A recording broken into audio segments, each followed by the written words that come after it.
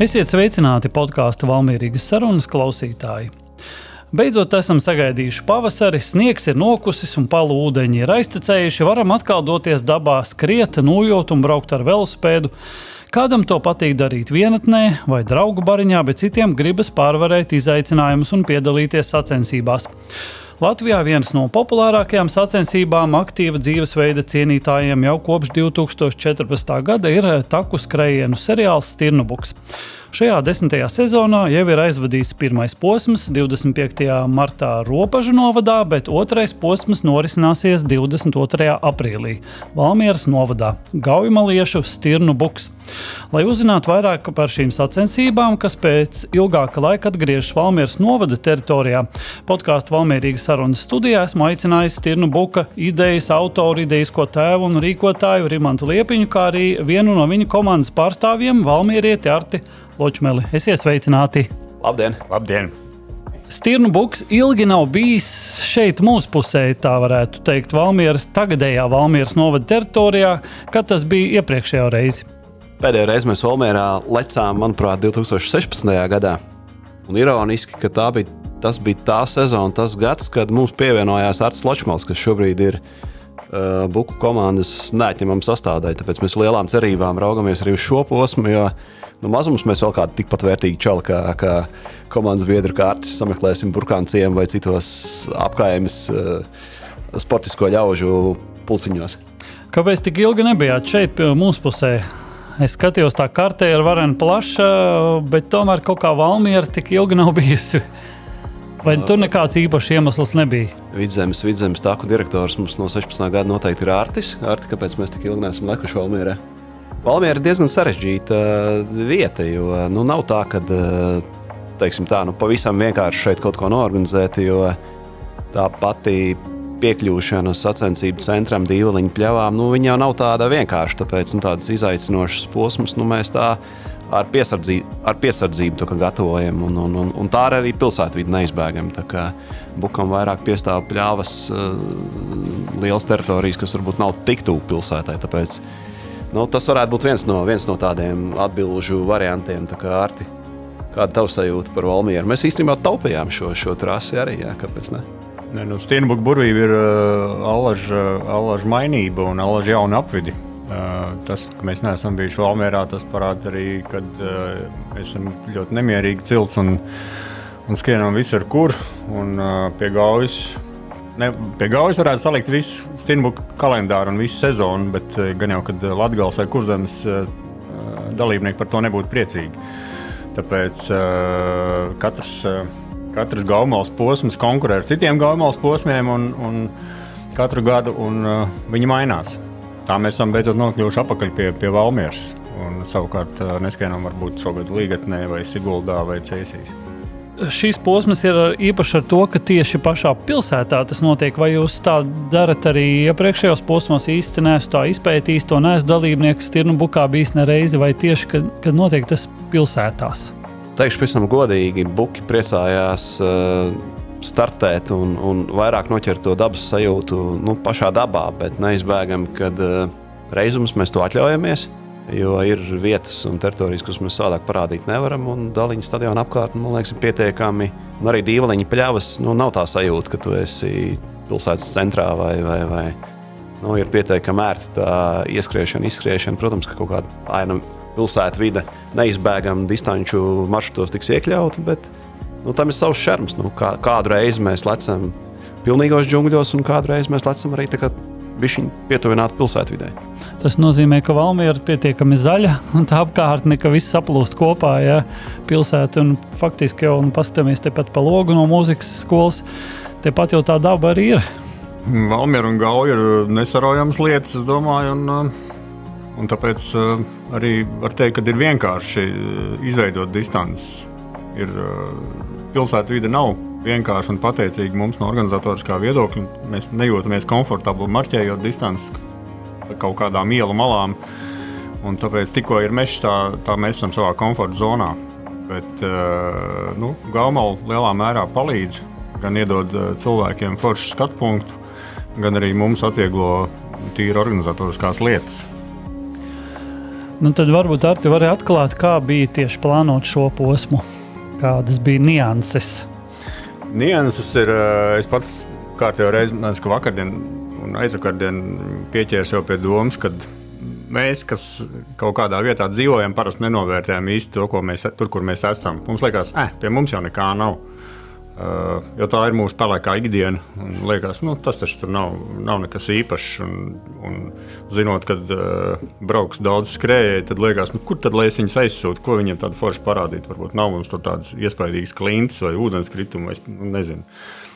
Liekas, tāds nu, vienmuļš mežs, bet patiesībā jau tas tā nav. Un uh, taks ir foršs un, uh, un ir savs šarms gaujai vienmēr ir. Ir abulis krasti, Gaujas krasti, uh, ir sila meži un, un uh, attekas. Nu, ir ļoti liela dažādība. Ir ceļi, takas, platas, šauras. Mm, jā. Nu, katrā ziņā es atklāju, teiksim, kad, kad ir forši. Man pašam iepatikās no jauna, var teikt, tā. Kaut gan pirms kāda mēneša likās, ka, nu, ai, nu, neskas tur sanāks. Man liekas, ka Bukā nav mazsvarīgi. Arī Valmjerā šeit ir atrodami ir tie, mēs viņus saucam par sirdi pacelājošiem auguriem. Pa kādam sirdi pacelājošam auguram būs. Mēs tikko noskatījām arī finiša posmā nu, tādu pēdējā brīža labojumu. Mikropauguriņu, bet arī sirdi pacelājoši. Jā, izrādās dīvaļņu pļavās ir arī pa kādam auguram. Tā kā ir, būs elegants risinājums finišam. Jūs esat to trasi entās reizes droši vien izgājuši cauri un izskatījuši, kā, kāds stāvoklis pašlaik ir pēc šīs palu sezonas. Jau tā kā cilvēkiem jāgatavojas, ka būs eh, melna mutes skrienot, vai jau būs apžūsi vairāk. Nē, nē, viss jau ir nožūs un uh, jāgatavojas, ka būs skaista pavasarīga diena. Spīdēs saule noteikti būs lieliska kompānija, smaidīgi cilvēki apkārt dabā. Viss ir nožuvis, gaujas līmenis turpina kristies. Ir kaut kādas pāris mitrākas vietas, bet es sagaidu, ka nekas īpašs vajadzētu būt, kad būs ar tie, kas neskan lūžu distanci. Kas skan trīs īsākās, tad viennozīmīgi ar sausām kājām es sagaidu. Un, nu, lūsim, divreiz jāšķērso abuls. Uh, šķērsojumi ir nosacīti, gatavi galvā, bet ne dabā. Kā mēs viņus realizēsim un kā, cil, un kā dalībnieki viņus vēl šķērsos, nu, tas ir tāds jautājums. Ar piedzīvojumiem vai bez. Mm -hmm. Uh, nu tad par šīm distancēm varbūt izējām pēc kārtas, uh, kur tās vedīs un, un kas ir gaidāms. Uh, īsākā distance ir vāvere. Susurs. Uh, susurs, jā, piedodiet. Īsākā distance ir susurs, kas uh, apmēram kilometru garumā būs turpat vien uh, divliņu pļavās un stadiona apkaimē. Pēc tam seko vāvere un skolu čempionāts apmēram 6 km, kas jau krietni izskries gaujas krastus, šķērsojot gauju pa centra tiltu un pa vanšu tiltu. Apskatīs krācītes, stāvos krastus, protams, un, un, un izskries caur Doliņu stadionam. Zaķis, kas jau ir nākamā garākā distance, un ap 14 km, tie jau paskatīsies uz Baļķkalnu vairākas reizes. Vairākas reizes, teiksim, tā izmērīs viņa augstumu, vēl vairāk gaumalu, vēl vairāk gaumalas meža. Uh, Buka distance, kas ir 24 km, jau aizvedīs līdz abulam, līdz abulu takām. Paskatīsies arī, kas notiek abulā vēl vairāk mežu un arī izcirtumu. Skaista distance, viennozīmīgi. Un lūža distance 31 km jau aizcelpos arī aiz abula un pieķers klātī vēl interesanti gaujas krasta posmu, priežu silus un pašu abulu šķērsošanu. Līdz brānguļiem arī tā skaitā brānguļu stūri pieķers un vēl vairāk abulu taku. Jā. Kādam izslāpušajam būs laiks arī ieskriet, kādu alu izdarīt. Protams, tas vienmēr eh, ir atļauts izmest papildus līgumu. ja tas neietekmē rezultātu, nu, ja gribās uz rezultātu, ja grib, jā. Jā. bet ja gribās tikai baudīt, tad jau var visu kaut ko paspēt. Jā, eh, es skatījos to statistiku. Līdz 19. gadam tas kāpums bija visu laiku nemitīgs, un tad nāca Covid laiks, kritums, bet jau, jau atkal kāpums iet uz augšu. Kā jūs prognozējat, kā izskatās šis gads? Nu, Covid laiks nenoliedzami iecirta dziļu tādu robu. Es teiktu, vispār Latvijas, latviešu tautas nu, kustību priekā, jo nu, tas iesēdiens divānos laikam ir bijis gan liels un kas pats kas tāds. Visnepatīkamākais, kad ir gana sportiski, tāda, līdz tam skrienoši, nu, tāda sportiska sabiedrība, kur saka, jā, joprojām ir kaut kādas covid sekas, un tas nav nu, kaut kāda pārsitiena sirds, un nu, tā, ka viņiem bail pat sportot. Tā, ka, nu, tā, tā problēma ir diezgan liela, un ar to ir jārēķinās, un tas dalībnieku skaita kritums ir neizbēgams. Protams, mēs ceram, ka lēnām cilvēki no tiem divām atgriezīsies takās mežā un ar to fiziskās aktivitāšu to kopumu nu, vajadzētu iet tomēr lēnām atpakaļ vecajās sliedēs. Īpaši biedē tā jaunākā, teiksim, jauniešu daļa, kur pa tiem diviem gadiem darīt visu, ko attālināti, sēdēt mājās un nu, tā. Bet uh, skatāmies pozitīvi tāds piesardzīgs, eh, piesardzīgs optimisms, teiksim, ir mani savot uh, Rimans kā, kā galvenais. Viņš skatās pozitīvi un, un, un tā. Es esmu piesardzīgāk, piesardzīgāk, pozitīvs. Bet, protams, ka gribētos, ka tas tā notiek, kad aug ne tikai stirnbuka dalībnieku skaits, bet vispār tautas sporta aktivitāte kopumā. Bet, nu, gribētos sagaidīt kaut kādus lielākus un labākus piemērus no Rīgas ielām un dažām iestādēm, un, uh, gan piemērus, gan reāli atbalstu. Nu, tā. Man šķiet, tas ir stingri par mazu. Nu, tautas sportam šobrīd ir tāda pārmaiņu laika. Jā. Tas ir nenoliedzami, un to, kas notiks tālāk, droši vien mēs tikai varam zīmēt, jo visas tās perpētīs, kas notiek tagad sporta nozarē, valstī, lielajos plauktos un kabinetos, ir nu, tādas, protams, kad atstāja savu dziļu pēdu arī tautas pasākumu organizēšanā.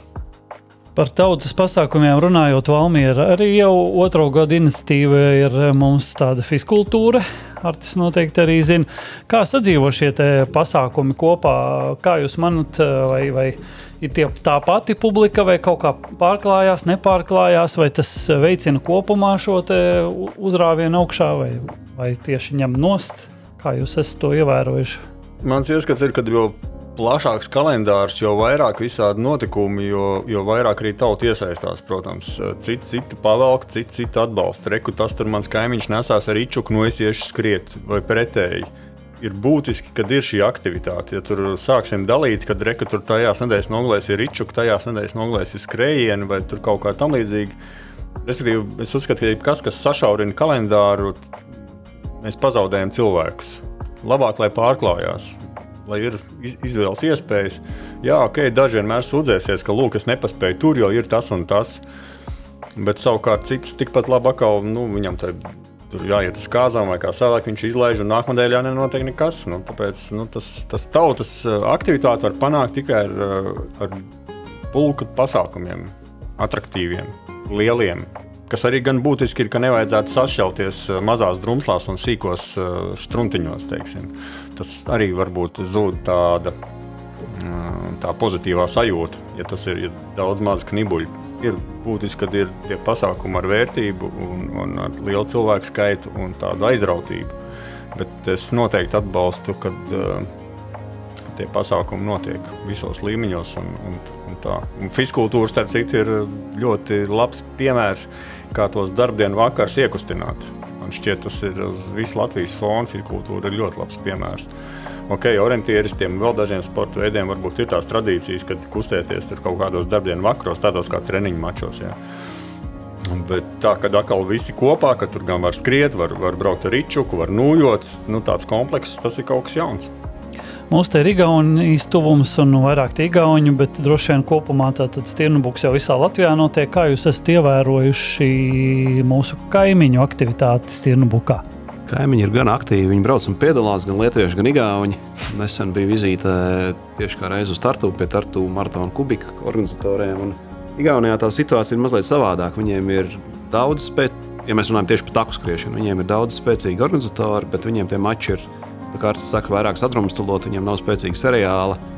Viņiem ir septiņi lieliski atsevišķi mači. Nu, Bet uh, dalībnieku skaits vidēji Igaunijā mums laikam likās, ka Igaunijā tas trailu komūna ir spēcīgāka. Viņiem iet īstenībā bišķi uz leju un nāk atpakaļ asfalts. Bet uh, nu, šai ziņā mums ir bišķi otrādi. Nu, otrs puses, ja ir pulks skrējēji asfalta distancēs, tad viņi būs vairāk arī takās un otrādi jo vairāk takās, jo vairāk skries arī pusmaratonus, maratonus un tam līdzīgi. Kā, ar Igauniem esam tā konstruktīvi sākuši draudzēties pie ilgiem laikiem, ko droši vien sen jau vajadzēja. Nu, apmainamies ar informāciju, pastāstām viens par otru savējiem. Savējos tikko aizvedām diezgan pietiekamā skaitā uz Pērnos krosa maču, kur viņiem ir tāds kāpnes skrējiens. Sagaidām, ka maija vidū pietiekami daudz musēju brauks uz uh, Tartu meža maratonu. Vēsturiski iegājies, ka Lietuvā, kurš kāps tajā trailā, kas ir kurš kāpā, tur jau, man liekas, latviešu dominants ir nu, tāda nu, pārākajā izteiksmē. Tur, man liekas, ka lietuvieši skrien mazāk kā latvieši. Tā kā cenšamies draudzēties, ne tikai nu, aicinot viņus pie sevis, bet arī parādīt, ka arī tepat tojā pierobežā aiz robežas ir pietiekami daudz inčīgu maču, kuriem vērts aizbraukt, paskatīties, nu, kā, tad, kā tad tas mežs izskatās pie viņiem. Un, man liekas, tas tāds foršs ģimenisks brīvdienas pasā, pavadīšanas veids. Desmitā sezona Vai ir kaut kas uh, domāts par jaunu, kaut kādu jaunieviesumu, lai, lai atdzīvinātu šo pasākumu, svaigāku padarītu, vai ir doma tomēr turpināt, kā tas ir iesākts arī līdz šim, šos desmit gadus? Jums ir pilnīgi taisnība. Uh, konceptu mainīt gan mēs īsti netaisamies, jo mēs katru gadu cenšamies aptaujāt uh, savus lojālos skrējējus, nu, kas tad jums patika, nepatika, ko vajadzētu mainīt. Un, un tā lielākā, tas lielākais aizrādījums ir, ka patika, koncepts ir ok, bet kaut ko vajadzētu pamainīt. Ne? Jo tā ir tā rutīna, kas ir jau nu, katru gadu viens un tas pats. Tāpēc šogad esam pie tā nedaudz vairāk padomājuši un tīri vairāk, nu, mainīsim tās sajūtas kaut kādas. Nu, piemēram, viens posms mums būs krēslas skrējiens, ogrē nākamais, trešais. Viens posms sāksies Igaunijā, uh, distance vilks uh, monomeģa pakājē. Un, Nu, ar kaut kādiem tādiem maziem, nelieliem pārsteigumiem mēģināsim šo to nu, atdzīvināt, ievest, ieviest varbūt dažādas krāsas. Jo ir jāpamaina nevis tāpēc, ka ir slikti, bet ir jāpamaina tāpēc, ka nu, tās vecās tapetes bišķi ir apnikušas un nu, ir jāievieš jaunas nu, tādā ziņā. Bet tādu lielu kardinālu izmaiņu mēs laikam baigi neplānojam, jo beig galā šīs gads ir liekas, pirmais no pēdējiem četriem, kad mēs esam, kad, kad varam aizvadīt nu, pilnu sezonu. Mēs iepriekšējos trīs gadus esam ļurkājušies, tur sezona beidzās jūnijā.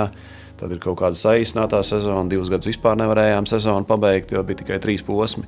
Un, nu, labā ziņa, kad ir, esam beiguši ļurkāties. Un, nu, tas jau vien jau rada kaut kādu mērenīgu optimismu un prieku. Kā, nu, kaut ko mēģināsim mainīt, būs jauna mājaslapa. Nu, tādas niansītas, atvieglot skrējiem dzīvi. Nu, vai tieši otrādi apgrūtināt, nu, atteikties no kaut kādiem tur, nezinu, vēl papildus pēta krājumiem mežā. Un, nu, ir ļoti grūti, bet mēģināt pieradināt, lai arī viņi burkšķi un viņam nepatīk. Ir jāskrien tomēr to savu izņemamo krūzīti. Un, uh, Jādzer no ūdens sistēmām, kurās tu to krūzīti vari papildināt. Nevis sagaidīt, ka tev atkal būs 15,000 glāzītes mežā un lēmanāt par to, ka orgi nav nodrošinājuši tev katrā enerģijas punktā pa glāzītē. Nu, tā, tā kā mācīsimies paši, mācīsim savus skrējējus nu, kopā. Un tie cilvēki arī mainās. Mums bija pāris gadus atpakaļ tieši Covid. Tā pirmā viļņa beigās mēs izmērījām, ka 60% auditorijas ir nomainījusies. Viņi to ciklu izdzīvo, 3-4 gadus viņi izskrien, tad viņi meklē kaut ko citu. Vai, nu, tā kā apnīk un nāk vietā jauni. Tas, tas, tas nav slikti, kad ir tie, ka mēs nestagnējam, nedzīvojam uz tās savas superlojālās desmit gadus. Uh, klientu datu bāzes, bet mums arī ir jauns asins. Kaut gan tie, tie senie jau tie mūsu mīļākie, jo mēs jau viņus visus pazīstam pēc vārda un atpazīstam. Bet šobrīd jau ir tā, ka ir grūti pat ar visiem nevar personīgi sasveicināties. Nu, Jā, nu, tā kā Rimans teica, var pamainīt bišķi tāpēc, bet man liekas, tā kopumā ņemot to formātu ir grūti izmainīt. Un, un, un es varbūt pat saskatu, ka uh, noturēt to formātu kaut kādās uh, lietās varētu būt izaicinājums kaut kādā perspektīvā.